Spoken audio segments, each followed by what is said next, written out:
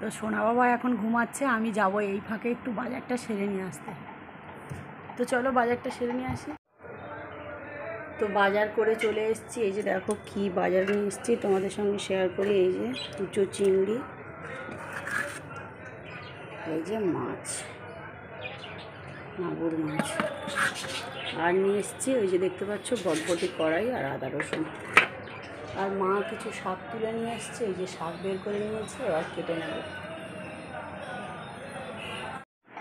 Hello বন্ধুরা, কেমন আছো তোমরা? আশা করছি সবাই খুব ভালো আছো, সুস্থ আছো, আমিও ভালো আছি। দীপিকা সাথী ব্লগে তোমাদের সবাইকে অনেক স্বাগত। আর সবার আগে গুড মর্নিং। এখন সকাল আটটা বাজে, এখন থেকে আমি আমার ব্লগটা স্টার্ট করছি। এখনও সকালে কোনো রকম কিছু টিফিন হয়নি। অরণ্যকে একটু দুধ চা বানিয়ে দিয়েছিলাম, আর বিস্কিট খেয়ে ও চলে গেছে টিউশানি। আর আমার সোনা বাবা তোমাদেরকে তো প্রথমেই দেখালাম, এই যে এখনও ঘুমিয়ে আছে, ওঠেনি, আর সোনা বাবার বাবা এখন উঠে ব্রাশ করতে গেছে। আজকে সকালে শরীরটা একটু খারাপ মতো বলে কোনো কিছু টিফিন বানাইনি তো যাই হোক, না বানালেও কিছু তো করে খেতে হবে। তো বাজার করে নিয়ে এসে তারপরে সবজি সব রকম কিছু রেখে মাছ দিয়ে রেখেছি, আর তোমাদেরকে তো দেখালাম, আর সব কিছু কাটাকাটি সবে শুরু করেছি। তো তোমাদের দাদাভাই আসলে যদি বলে যে পাস্তা খাব তাহলে পাস্তা আছে, বানিয়ে দেবো, আর নাহলে রুটি ডিম যাও কিছু একটা বানিয়ে দেবো। তা আসুক, আসার পর কী বলে দেখি। আর গ্যাসে তো বেশিক্ষণ সময় লাগবে না, গরম গরম বানিয়ে দিলে খাব। তো চলো, সবজিটা কাটাকুটি করে নিই। নিয়ে তারপরে, আর আজকে কী জানি আমার খিদেও পাইনি। শরীরটা খারাপ থাকলে মনে হয় ওরকম হয়, খিদেও পাইনি। আর হ্যাঁ তোমাদেরকে বলা হয়নি তো, আজকে ভোটে রায় বেরোবে। আমাদের এখানে অনেক বাজি বোম পড়বে। তো ওই বিষয়ে আমি তোমাদেরকে শুনিয়ে রাখি, কিন্তু দেখাতে পারব কি জানি। তো যাই হোক, স্কুল ছুটি ছেলে, রায় বেরোবে বলে স্কুল ছুটি দিয়ে দিয়েছে, টিউশানিও ছুটি। মানে বিকেলে টিউশনটা ছুটি, সকালটা পড়াচ্ছে, বিকেলটা ছুটি। তো বন্ধুরা, বারান্দাতে এসে দেখতে পেলাম, বর্ষার সবজি সবেমাত্র উঠেছে। কারোর কারোর এখনও ওঠেনি, গাছে সবে মাল ধরেছে। আর কারোর কারোর উঠেছে। এই যে দেখো বাড়ির সামনে পুরো লাইন দিয়ে ভ্যান নিয়ে এতে পুরো ভরে যায়। আজকে হাফটা কিন্তু যখন সবজি, মোটামুটি বর্ষার সবজি খুব উঠে যায়, তখন এর মধ্যে কিন্তু শুধু উচ্ছে আছে, ঝিঙে আছে আর হচ্ছে কড়াই আছে।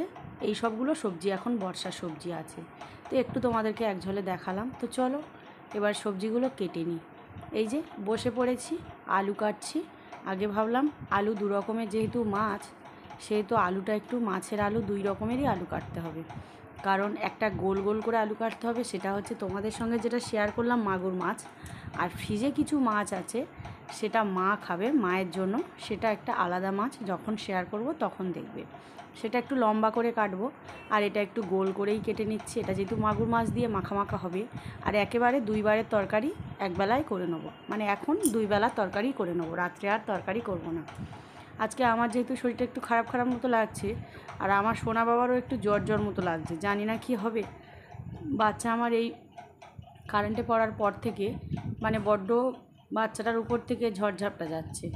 তো যাই হোক, ওর জন্য ঠাকুরের কাছে প্রার্থনা করছি, ওর যদি জ্বর আসে তো আমার আসুক, কিন্তু ওর যেন না জ্বরটা আসে, কারণ ওর জ্বর আসলে ওর খুব কষ্ট হয়। ও সেটা সহ্য করতে পারে না, বাচ্চা মানুষ তো পা হাত পা ব্যথা করে, যন্ত্রণা হয়, গোয়ায়, কাঁদে। সেই জন্য। তো ঝটপট আলুগুলো কেটে নিচ্ছি, এবার ধুয়ে নেব, আর তারপরে আর একটা যে মাছ আছে, ওই মাছের আলু কেটে নেব। তো অরণ্য টিউশানি গেছে এখনও পর্যন্ত আসেনি। আর আমার মুখ চোখের অবস্থা দেখে বুঝতেই পারছ মানে রাতে ভালো ঘুম হয়নি। আজকে আর গরম কি বলো তো মাঝে মাঝে বৃষ্টি হচ্ছে, আর মাঝে মাঝে প্রচণ্ড গরম পড়ছে। সেই জন্য রাতে ঘুমটাও হচ্ছে না, আর ঘাম জমছে। আর তোমরা তো জানো, অতিরিক্ত ঘাম হয় আমার। সেই জন্য শরীরে একটু বেশিই কষ্ট হয়। আর সেই ঘামটা জমার পরে সকালে যখন উঠি, হঠাৎ মাঝে মাঝে গলায় ব্যথা হয়, কোনো সময় আবার ঠান্ডা লাগে, সেই অবস্থা। তো আলুগুলো আমার কাটা হয়ে গেছে আর ধুয়েও নিয়েছি পরিষ্কার করে। এবার পেঁয়াজগুলো ভাবছি কেটে নেব। আর পেঁয়াজের পরিমাণটা আজকে একটু বেশি লাগবে। আর আদা, রসুন বাটা তো অবশ্যই লাগবে, যেহেতু ওটা নদীর মাছ, দুটোই সব নদীর মাছ হবে আজকে। আর যে কুচো চিংড়িটা এনেছিলাম দেখালাম ওটা একটু পেঁয়াজটা বেশি করে দিয়ে আর কাঁচা লঙ্কা দিয়ে একটু ভেজে নেব। ওটা অন্য কোনো সবজি দিয়ে করব না। ভেবেছিলাম কড়াই দিয়ে করব, তোমাদেরকে দেখালাম। কিন্তু কড়াই দিয়ে করার থেকে মা এসে বলল যে, পেঁয়াজ দিয়ে লঙ্কা দিয়ে যদি ভাজো, চিংড়ি মাছটা খেতে বেশ সুন্দর লাগে আর ভালোই লাগে। সেই জন্য ভাবলাম কোনো রকম সবজি দেবো না। ওটা রেখে দিই, ওটা অরণ্যকে সন্ধ্যাবেলা পাস্তার সঙ্গে দিয়ে দেবো সবজিটা। দিলে ওর পাস্তাটাও সুন্দর হবে, খাওয়াও হয়ে যাবে। এই যে দেখো, বড় সাইজের তিনটে পেঁয়াজ নিয়েছি, ধুয়ে রেখেছি, এখন কাটিনি, আলু কাটা হয়ে গেছে। এবারে কাটবো শাকগুলো, বেছে নেব। তো শাকগুলো বেছে নেব, কারণ শাকে তো এখন মানে বর্ষাকালে শাকে বেশি জোঁক থাকে, ওই জন্যই ভয় লাগে। আর পোকা তো থাকেই, এটা, ওটা, সেটা। সেই জন্য শাকগুলো একটু আস্তে আস্তে একদম পরিষ্কার করে দেখে দেখে দেখে দেখে বাঁচতে হচ্ছে, জালি আছে সেই জন্য। তো এই শাক নিয়ে একটা গল্প আছে, তোমাদেরকে বলি। আমার সোনা বাবা যখন পেটে ছিল আমার, তখন কিন্তু আমার আলু ভাতে আর এই শাক ভাজা মনে হয় যেন মধুর লাগতো। হ্যাঁ তো ভালো লাগতো। তো আজকে মনে উঠল শাকটা বাঁচতে বাঁচতে এখন ততটা ভালো লাগে না, আর আমি শাক যে পছন্দ করি না নয়, সেটাও নয়, করি পছন্দ। কিন্তু সোনা বাবা যখন পেটে ছিল, তখন যেন মনে হতো শাকটা অমৃত। আর আলু সিদ্ধটা মানে একদমই সুধা। মাছ টাছ খেতে পারতাম না তো, গ্যাস লাগতো আর বমি হতো। আর আমার আবার এমনি থেকেই বিয়ের আগে কিন্তু গ্যাসের সমস্যা ছিল না। যখন অরণ্য পেটে আসলো তখন থেকে আমার গ্যাসের সমস্যা মানে শরীরে আসা শুরু করল। তারপর থেকে অরণ্য হয়ে যাওয়ার পরে বেশ কয়েকদিন, আর অরণ্য আর সোনা বাবা প্রায় আট বছরের ছোটো বড়। সেই জন্য তারপরে যখন সোনা বাবা পেটে আসলো, গ্যাসের সমস্যাটা তো আরও বাড়তে লাগল। আর একটু কিছু খেলেই বমি হয়ে যেত। একটু যদি কোনো সময় চা খেতাম, আর হ্যাঁ তোমাদেরকে চা নিয়েও একটা কথা বলি। আমি যদি ঠান্ডার সময় পেটে, সোনা বাবা ছিল, একটু যদি চা খেতাম, বাবা আমাকে বকতো যে, চা খেও না, যে পেটে আছে তার তো কষ্ট হবে, গরম চা। এইরকমই বলতো আমার শ্বশুর। তো এই যে, কাটা আমার সব সবজি কমপ্লিট একটু আলু দিয়ে দিয়েছি আর গোটা গোটা কাঁচা লঙ্কা দিয়ে দিয়েছি।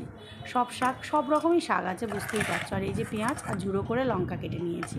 আর এই যে আলু কেটে নিয়েছি, এবার রান্নাটা চাপালেই হলো। আর আদা রসুনটা তো বেটেই নিয়েছি।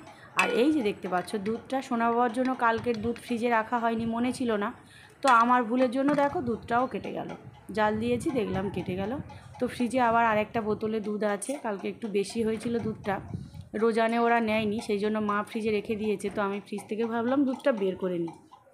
বের করে ঘন্টাখানেক রাখলে ঠান্ডাটা কেটে যাবে, গেলে আবার সোনা বাবা ওঠার পর গরম করে দিলে খেতে পারবে। আর এই যে ফ্রিজ থেকে তো আগেই থেকে এক ঘণ্টা আগে বের করে রেখেছিলাম মাছটা, এটা হচ্ছে বেলে মাছ আর ফ্যাসা মাছ। এটা হবে মার জন্য। মা যেহেতু মাগুর মাছ খায় না, দুবেলা মায়ের হয়ে যাবে আর বাচ্চারা যদি কেউ খায় সেটাও হয়ে যাবে। আর এই যে তোমাদেরকে কোনটা না দেখাই বলো? ডাব। এগুলো আমাদের গাছেরই ডাব। তো বাবা পেড়ে নিয়ে এসছে।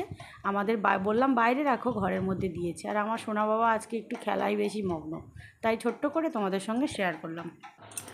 আর এই ফাঁকে আমার রান্নাটাও হয়ে গেল। চলো তোমাদেরকে রান্নাটা একটু দেখাই। আর রোজ রোজ রান্না কি শেয়ার করব বলো তো? যেহেতু ওপারে রান্না করছি, তাই তরকারি হয়ে যাওয়ার পরেই তোমাদেরকে শেয়ার করছি। এই যে দেখো, মায়ের জন্য একটু আলু দিয়ে মাখা মাখা। আর আমাদের জন্য, সবাই জন্য একটা শাক ভাজা। পিসিমা খেয়ে খেয়ে গিয়েছে আর বাবা খেয়েছে। সেই জন্য একটু এলোমেলো দেখতে পাচ্ছ তরকারিগুলো। আর এই যে চিংড়ি মাছ ভাজা, আর এই যে দেখতে পাচ্ছ মাগুর মাছের ঝোল। এবার আমি খেতে বাকি আছি, আমি খাব। তো তার আগে চলো, সোনা বাবাকে একটু শুইয়ে দিই, দিয়ে তারপরে আমি খাব। তো এখন বাজে সাড়ে তিনটে। একটু ঘুমাতে না ঘুমাতে আর আজকে ঘুম হয়নি। তোমাদের সঙ্গে সকালে যেটাই বলছিলাম সেটাই হয়েছে। আমার সোনা বাবার হঠাৎ জ্বর এসছে। তো সারা দুপুর জেগেছিলাম, মাথা ধুইয়ে দিলাম এই সবে ডাক্তারের কাছ থেকে ওষুধ নিয়ে এসে খাইয়ে দিলাম।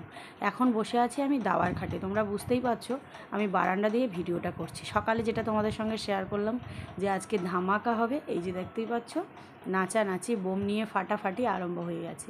জিতেছে আমাদের এখানে প্রার্থী তো টিএমসি জিতেছে। হ্যাঁ বিজেপি টিএমসি সিপিএম লেগেছিল টিএমসি তো বন্ধুরা, বিকেলে এত বক্স চলছিল, এত বক্স চলছিল, তোমাদেরকে তো এক ঝলকে একটুখানি দেখালাম। তো এখনও পর্যন্ত চলছে, তবে এখন মানে পাড়ায় টাড়ায় ঢুকেছে আর কি। তো তাই আমি ভিডিওটা কন্টিনিউ করতে পারিনি।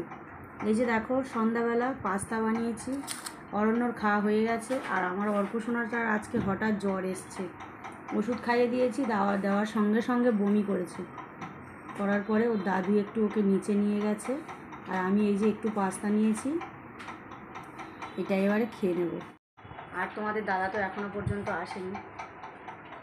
এখন নটা না বাজলে আসবে না, কারণ সারাদিন পরে তো সন্ধ্যাবেলা একটু নিচে যায় আর কি। কী করে বলো? সবসময় তো কাজকর্ম করে। তো ঠিক আছে বন্ধুরা গুড নাইট ব্লগটা এখানেই শেষ করছি। ভালো লাগলে লাইক কমেন্ট শেয়ার আর সাবস্ক্রাইব করো। সবাই এইভাবে আমার পাশে থেকে, আমাকে সাপোর্ট করো। সবাইকে টাটা। ফিরে আসছি আবার কোনো নতুন ভিডিওতে সবাই ভালো থেকো, সুস্থ থেকো।